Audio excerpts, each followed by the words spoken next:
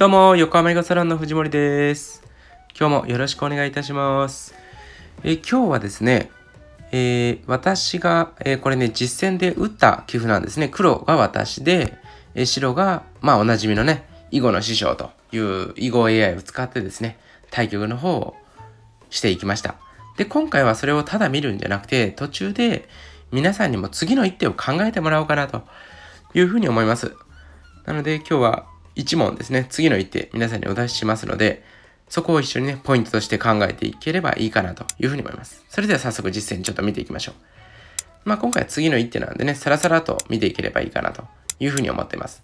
まあこんなふうに、えー、まあね、おなじみの定石が出来上がったというところですね。で、3、3入ってこられて、まあここは私はね、まだ上の方の白がね、ちょっと弱いということで分断しに行きましたね。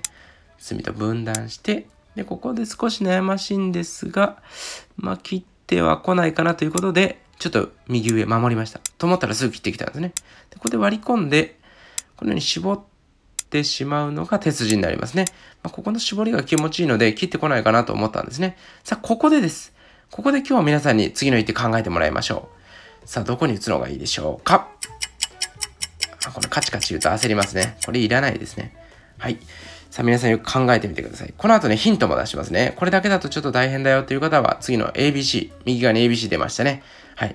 この ABC の中から選んでみていただいたらいいかなと。はい。もう少ししたらもうちょっとヒント出しますんで、これ以上ヒントいらないよっていう方は一回動画ね、ストップして考えてみたらいいかなというふうに思います。はい。A と B と C、どこに打つかと。はい。まあ A はなんとなく上辺をですね、広げながら白を攻めようかなと。で、B は真ん中辺ですね。はい。で、よりヒント出ましたね。ごめんなさい。え左上は強いよと。右上も強いよと。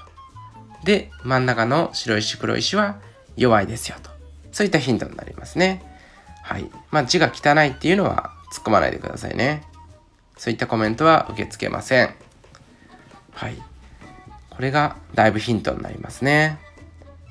さてさて、それではいよいよ正解発表していきたいと思います。正解は、こちらの B につける手が正解になります。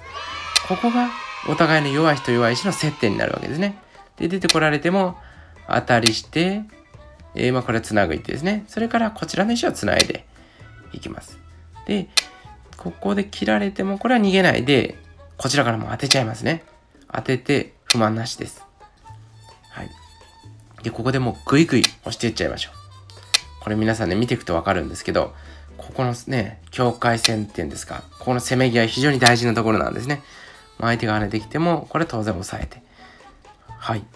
ここをしっかりと止めて、二段張りね、ちょっと怪しいんですけど、まあ伸びておいて、このようにグイグイグイグイ決めていきます。はい。で、ここも逃せないところがありますね。ここはもうグッと、そう、これ占領曲がりという非常にいい曲がりになります。ここもグイグイして、これで皆さんも徐々にね、見えてきたと思うんですけど、この黒にでき、黒の壁とですね、白にできる壁、これがですね、黒の方がだいぶ働きが多いんですね。なんでかっていうと、下辺とか左辺でまだ石が何も置かれてないですよね。なので、こちらの方でこれから非常に発展性があるんです。白は壁できましたけど、そんなに大きな陣地できなそうですね。